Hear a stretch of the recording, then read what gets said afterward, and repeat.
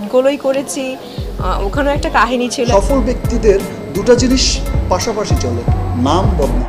কয়েকটা দিন আগেও খবরের শিরোনামে ছিল সাকিবের সাথে গোপনে ব্যক্তিগত সম্পর্কে লিপ্ত হয়েছেন পূজাচেরি। কিন্তু ইতিমধ্যে সেই গল্পের মোড় ঘুরে খবর তৈরি হয়েছে যে সাকিবের সাথে সম্পর্ক ভেঙেছে পূজাচেরির। যে কারণে এবার সাকিবকে শিক্ষা দিতে পুরনো বন্ধুর সাথে হাত মিলিয়েছেন পূজা।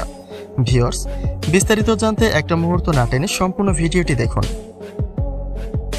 পুরনো সম্পর্ক জোড়া লাগা ব্যক্তি পূজার বর্তমান বন্ধু হলেও তিনি সুপারস্টার শাকিব খানের চরম শত্রু।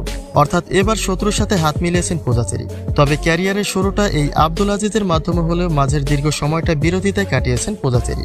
কিন্তু হঠাৎ করে ফেসবুকে ক্ষমা চেয়ে অনুতপ্ত হওয়া, তার ছবিতে লাভ ইমোজি দেওয়া এমনকি তাকে নিয়ে অটল প্রশংসার এই বিষয়টি বেশ সন্দেহের একটি কারণ হয়ে দাঁড়িয়েছে দর্শকদের চোখে।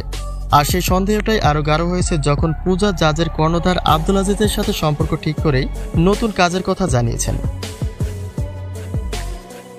পূজার এমন কথা যে যার নিজের মতো করে মন্তব্য করে যাচ্ছে। কে বলছে সাকিবের সাথে সম্পর্ক নিশ্চয়ই এখন আর ভালো নেই। যে কারণে শত্রুর সাথে হাত মিলিয়ে সাকিবকে টেক্কা দেওয়ার একটা নতুন ফোন দিয়ে এটা। আবার কে বলছে সাকিবের সাথে সম্পর্ক ভালো না থাকলে নিশ্চয়ই পর্যাপ্ত কাজ থাকবে না পূজার হাতে। যে কারণে নিজের কথা ভেবে সাকিবের পথ থেকে সরে আসছে পূজা। কিন্তু হাজার সমালোচনায় যেন পূজার কিচ্ছু যায় আসে না। তিনি সোজাসাপটা উত্তর জানিয়ে দিয়েছেন, নায়িকা হিসাবে তার সবার সাথে কাজ করা উচিত, আর সেই কাজটি তিনি করছেন।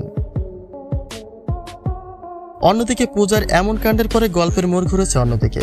কেননা এতদিনের গুঞ্জন ছিল সাকিবের সাথে ব্যক্তিগত সম্পর্ক রয়েছে পূজাচেরির। যে কারণে অনেকেরই একটা টার্গেট ছিল যে পূজাও কোনো একদিন এসে বলবে তিনিও সাকিবের বউ।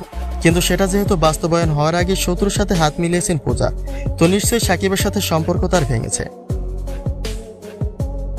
প্রিয় দর্শক, সুপারস্টার শাকিব খানের শত্রুপক্ষের সাথে পূজার এমন বন্ধুত্বের সম্পর্ক নিয়ে আপনার কোনো মন্তব্য থাকলে কমেন্ট করে জানিয়ে দিন।